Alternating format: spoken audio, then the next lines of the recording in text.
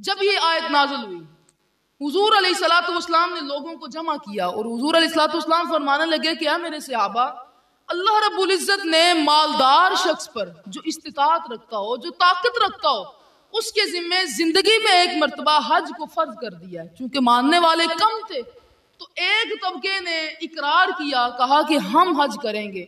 लेकिन पाँच तबके ऐसे थे जिन्होंने इनकार किया और कहा कि ना ही हम इसकी तरफ़ देखकर नमाज़ पढ़ेंगे और ना ही हम इसका हज करेंगे। तो अल्लाह रब्बुल इज़्ज़त ने कुरान की उसी आयत के दूसरे जुज में इरशाद फरमाया, वमन कफर आलमीन। जिसने मेरे इस रुकन का इनकार किया, वमन कफर, जो इसका इनकार किया, ताकत मौजूद है, उसके पास इस्तात मौजूद है, सब कुछ होने के बावजूद अगर वो इनकार करे तो अल्लाह रब्बुल इज़्ज़त फरमाता है कि फिर मुझे भी उसकी कोई परवाह नहीं कि वो ईसाई होकर मरे या यहूदी होकर मरे। और मैं कि मैं तो बेनयाज हूँ भाई मुझे तो किसी की परवाह नहीं। तुम इबादत करते हो, तब भी मुझे कोई परवाह नहीं। तुम इबादत करो या ना करो, मुझे कोई परवाह नहीं। अगर इबादत करोगे तो उसका सवाब तुम्हें अता किया जाएगा, उसका फ़ायदा तुम्हें मिलेगा।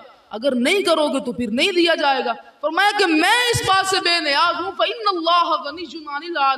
अल्लाह फरमाते हैं, मैं तो दोनों जहानों से बेनियाज हूँ। मुझे तुम्हारी कोई फ़िक्र नहीं अगर तुम मेरे अहकाम के ऊपर नहीं चलोगे। अब इस्तात से क्या मुराद है?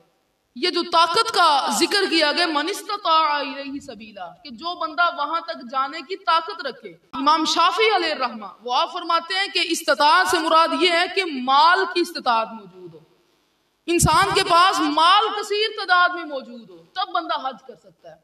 इमाम मालिक रहमत आपने कलम को उठाया आपने फरमाया कि ये जो इस्तात का ज़िक्र अल्लाह ने कुरान में फरमाया इस्तात से मुराद है कि इंसान के पास जिस्मानी ताकत मौजूद हो क्योंकि हज ऐसी इबादत है जहाँ पर इंसान के जिस्मानी ताकत भी लगती है और माली ताकत भी लगती है। इसके बरक्स अगर अगर आप देखें तो नमाज़ है, इसमें सिर्फ़ और सिर्फ़ जिस्मानी ताकत लगती है। इंसान वर्क करता है।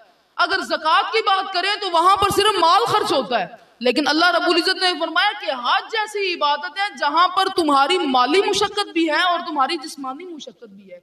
हज़रत इमाम आज़म अबू हनीफा रज़ी जिनके हनफी पैरोकार हैं, वो फरमाते हैं, आपने फरमाया कि इस्तात से मुराद ये है कि इंसान के पास माली ताकत भी मौजूद हो और इंसान के पास बदनी ताकत भी मौजूद हो।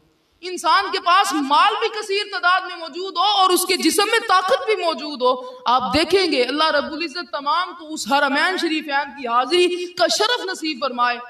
ये जो इबादत है, जो हज और उम्र की इबादत है, ये जवानी में करने की बात है। इसीलिए फरमाया कि इस्तात से मुराद ये है कि तुम्हारे पास माल भी मौजूद हो और तुम्हारे जिसम में ताकत भी मौजूद हो।